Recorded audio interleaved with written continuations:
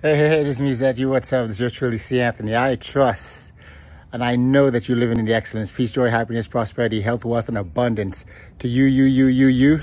And yes, you. Happy first Thursday of March 2020. Hey, man, I trust you guys are growing. Uh, we're coming up to the, um, we're in the third month of 2020. And, um, and I want to make sure that the game plan that you have in mind for 2020 that you do not fall short, that we do not fall short in 2020 as we move into this next decade, man.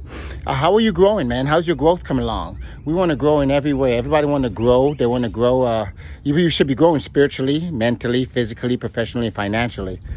How, those five areas coming along in your life? Are you taking time to grow in each area? Um, I am.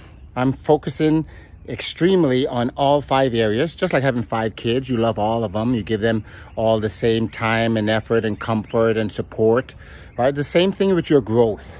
Uh, because we, for sure, by default, we're getting older. I mean, I'm looking older right now compared to how I looked 10 years ago. We're looking older. However, we need to be growing intentionally in those areas to making ourselves better as we get older, okay?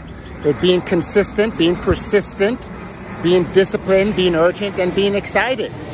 That's the key to success. A lot of us want success and we're looking at other people's success. How is your success coming along? Are you intentionally growing towards your success and your goals and your dreams and your aspiration? Are you elevating? Are you stretching? Are you going the extra mile? Are you standing in faith and, and, and keeping things in front of you?